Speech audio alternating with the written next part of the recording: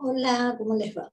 Bueno, eh, hoy tenía ganas de compartir con ustedes una carta natal Kimem de sorpresa de Alejandra Pizarnik. Los que conocen algo de Pizarnik es una poeta, escritora fabulosa eh, a mí siempre, yo también escribo, entonces eh, siempre me llamó la atención el, temperamento como melancólico, como triste, siempre eso es lo que me transmitía. Entonces, ahora que puedo ver la carta natal de ella desde otro lugar, voy a ver si puedo transmitirles a ustedes también lo que yo veo. Vamos a buscar el lapicito. Alejandra Pizarnik nació acá en Argentina. Yo estoy en Argentina, pues yo vivo acá. y em, a los 27 años más o menos se fue a vivir a París. Después volvió, pero estuvo viviendo mucho tiempo en París. Ella, mira, vino, Harmony, tiene Ambassador, tiene estas estrellitas y tiene un sim. Esto quiere decir que ella vino, este es su palacio de destino. Eso, el palacio de destino habla de lo que nosotros venimos a hacer. Eso es lo que nosotros venimos a hacer en esta vida, para eso encarnamos. Ella vino a aprender de sus relaciones. Sus relaciones ambasados son personas importantes, son personas de dinero, son personas que tienen lujo, son personas embajadoras de otras personas que tienen el don de la palabra. Entonces, ella vino a relacionarse con esas personas. Ella también fue una de esas personas, pero tenemos Escenery. Escenery está mal puesto, o sea que las relaciones que ella tuvo eran como de apariencia, superficiales de apariencia. Ella vino a aprender, a profundizar esas eh, relaciones, a cambiar su manera de ver a los demás y de verse, ella de presentarse ante los demás también las personas que, las, lo conocían decían que la conocían decían que a veces estaba muy linda, muy sensual, muy, y otras veces era un desastre. Ella venía a aprender eso, a, a mostrarse mejor ante la gente, a hablar eh, y ser embajadora de muchas personas. Por eso muchas personas conoció, muchas personas tenía que representar sin le iba a dar la libertad que ella estaba buscando, como percepción y como realidad. Entonces, de, de niñez ella tenía acá un delusion, tenía una, una niñez bastante difícil porque ella competía con la hermana. Los padres te ve que tenían una, una preferencia y porque era, una era morocha y la otra era rubia, entonces tenían preferencia por la rubia. Y acá estamos eh, hablando de, esa cierta timidez y de estar oculta, de sentirse así como retraída, a pesar de tener sus estrellas de liderazgo y de claridad mental, tenemos mucho conocimiento. Este conocimiento, y es oculto también, es el nivel más alto que tiene Moon. O sea que fue una persona que estudió mucho, sabía mucho, de hecho estudió religión, literatura, filosofía, era traductora, en Francia hizo de traductora en editoriales, o sea, sabía mucho, mucho, mucho, estudió mucho, muchos conocimientos tenía. Esto es lo que nos dice de ella. Entonces ella en esta época que su palacio de destino es de 16 a 30 años, o sea, eso le da la posibilidad a esa edad de encontrarse consigo misma y de descubrir cuál es su misión. Como este palacio está conectado con este otro, vemos que acá la familia está en un boy. Y justamente estábamos diciendo, la niñez, la familia, las preferencias, ella sentía la insatisfacción de ese void, eh, la, insatisfacción con la familia, como que ella tenía grandes planes acá, planificaba, tenía grandes planes para una familia, para tener una familia con su propia familia, como acá dice familia, con su propia familia, pero no era lo que ella esperaba no pasaba lo que ya estaba esperando con respecto a esto. Era, este void hace una insatisfacción donde está, en el lugar donde está, que solamente cuando este void no está nos sentimos bien. De chica también tenía este problema de salud. Este problema de salud en medicina china tiene que ver con el asma que ella tenía, eh, este es el calor que genera eh, sobre el vaso y también tenía acné, tenía problemas de acné, esto es el mismo calor, mismo calor. Este calor que vemos acá en la salud también nos está hablando de un, eh, es un calor que busca, que es demasiado, da demasiado ansiedad. Este calor en la tierra da demasiada ansiedad. Por eso también esa ansiedad que tiene que ver con la tierra y el vaso hace que uno coma, coma, coma, coma. Y una de las cosas que em, le pasaba de chica también era que engordaba. Por eso a una edad de adolescente empezó a tomar pastillas para adelgazar y después, bueno, se hizo adicta a, los, las anfetaminas, estas cosas. Em, entonces, en, este, en esta cuando está en el Palacio de Destino, transitando el Palacio de Destino, es cuando viaja a Francia y conoce a todas estas personas. Por ejemplo, otra cosa que habla de su bienestar es el FIAR. El FIAR tiene que, habla de su bienestar físico, emocional y espiritual. Y, y acá tenemos a Fénix, la palabra tenemos la asistencia, la ayuda que viene por medio de la palabra, su bienestar. se ve que ella encontraba su, su bienestar y la, la asistencia por miedo de la palabra, de la escritura, porque es lo que a ella le daba esta sensación de, de sentirse bien a pesar de que el Fénix ahí habla también de un que la parte espiritual no estaba bien. Cuando el fiar está en este sector, es difícil salir de adicciones, es difícil de salir de adicciones. Eh, por eso hay que ver en qué sector está uno con su bienestar para poder tratarlo a tiempo. Ella podía haber asistencia, podía haber hablado y podía haber pedido ayuda si no estaba bien. Hay que ver si en esa época em,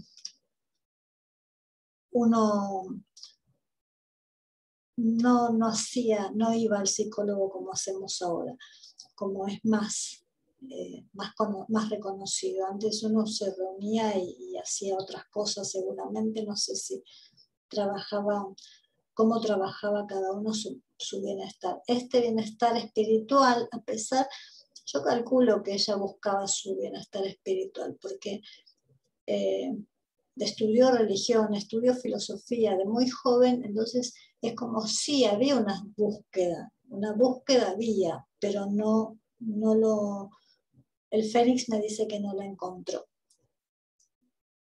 que no la encontró. Entonces, vamos a ver, las oportunidades de dinero y su carrera, dice que su performance era muy buena. Eh, las relaciones con, grupos no, era más bien obsesiva. Y sí tenía generosidad, tenía la generosidad y el dinero venían de la mano de oportunidades de trabajo. Ese Open ahí me está diciendo que fue difícil, difícil eh, hacer carrera. De hecho, ella tenía en 1950 más o menos, ella quiso, editó sus primeros eh, artículos, sus primeros libros, eh, y no, no tuvo éxito hasta 1964, o sea, 14 años después. O sea, cuando tenemos el Open acá, cuesta, cuesta las oportunidades de trabajo. En este sector, estas oportunidades de trabajo que son con un patrón, ¿no? Por supuesto. Las, el dinero que tiene que ver, el dinero está acá de ella, ¿no? Eh, tiene que ver con que ella, ella tiene el control. Bueno, tenemos acá otro bueno, acabo de verlo ella tiene el control de, em, de este dinero, sabe controlarlo, sabe, sabe hacer las innovaciones necesarias para esto. Pero ¿qué pasa cuando es, este es el palacio del karmático? Del karma quiere decir que todo lo que ella ya tenía aprendido viene a volcarlo en este palacio. Entonces, eh, ¿qué dice el boy? dice que cuando ella puede tener mucho dinero, ella de hecho ganó dos premios, fue galardonada, puede ganar, pero este boy nunca es suficiente el dinero que gano, el dinero que logro, nunca va a ser suficiente porque no, la insatisfacción está ahí marcándomela. Eh, también con respecto al dinero estaba en una zona de confort bastante cómoda, digamos, o sea que no era el dinero lo que ella eh, necesitaba, sino que se, estaba más enfocada por ahí en, hacer sus innovaciones, en hacer, en, hacer su trabajo, porque su trabajo acá, su trabajo es el que ella le ponía todo su ego. Lo que decía mm, eh, acá, está el caballito, cuando ella viaja, sale a buscar, está alto el salir a buscar, sale a buscar sus competencias, dice, salgo a arriesgar, sale a arriesgar y a ganar, tiene las competencias, tiene, y se va justamente porque este, esta sensación es como que le falta algo, le falta amor, le falta, ah, vamos a hablar del amor hoy, le falta amor, le falta algo más, algo más, que no encuentra, por eso viaja, se va. Entonces, mm, con respecto al amor, mira, ella viene, ya de entrada viene a relacionarse, aprender a relacionarse, no por apariencia, no tiene que ser por apariencia, o sea, que en la época que ella vivió le debe haber costado mucho, mucho relacionarse por sus gustos. Por ejemplo, eh, sus relaciones acá. Marido, el a la tierra le gusta, marido podría haber funcionado. Lo que pasa que ella como esposa no tiene bienestar. Ella no se ve como esposa. Eh, novios a la tierra no le gusta la madera, o sea que los novios no podrían sentirse como se hubiese sentido controlada, pero sus relaciones, al voy de vuelta, están en la tierra, o sea que a ella le gustaban más las mujeres que los hombres. Y ella invertía, acá tenemos el dinero, invertía dinero en eh, divertirse o en pasarla mejor con las mujeres que con los hombres. Eh, por eso su sexualidad era más de, de mujeres. Así que con este, a ver si hay algo más. Sí, acá vemos los, los novios muertos. No hay novio, no hay novio que prospere, no hay novio. Podría haber, sí, podría haber intentado eh, con un marido, no, novio no sirve, no va acá. Podría haber intentado con un marido, lo que pasa que un marido no era lo que ella sentía que la hacía feliz. Sí, el Palacio de Destino está totalmente eh, directo a las, a las novias. O sea que esa es la relación donde ella sentía que podía tener nuevamente una familia, eh, a pesar de este void, era lo único que podía eh, relacionarla a una familia, ¿no? También esa percepción estaba abajo. Eh, ella, su grain, que tiene que ver con su salud y su muerte, esta insatisfacción que siente acá no la superó nunca y evidentemente este, este DIN terminó eh, haciendo de anfetaminas y barbitúricos, que fue como ella murió. Se suicidó eh, tomando, no me acuerdo qué medicación, que era para insomnio y siguió de largo. Así que mm, en los últimos días de su vida ya falleció a los 36 años, muy joven.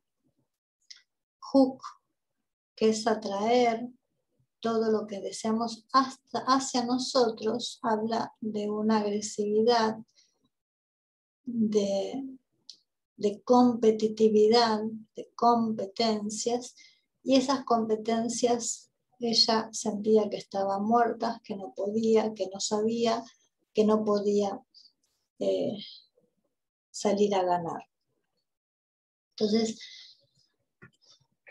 eh, la internaron en un psiquiátrico porque su, su estado no, era siempre de depresión, demasiado metal. Tiene, acá tiene metal también, en su día maestro, demasiado metal que la rige. Entonces ese, ese metal, metal, metal, hace que sea... Eh, que se deprima y que termina en un psiquiátrico, hook, hook eh, atrapa, pero a veces ese hook en la, tierra, en la madera, lo que atrapa no, no fue bueno. También. Eh, tierra acá, tierra acá, es, habla de una obsesión ¿no? con respecto a lo que quiere, a lo que quiere atrapar. Así que bueno, eh, espero que haya sido una carta para ustedes también interesante. A mí me gustó conocer un poquito más la historia de después de leer sus melancolías. Y bueno, eh, la próxima veremos otra biografía, otra historia. Chau, chau.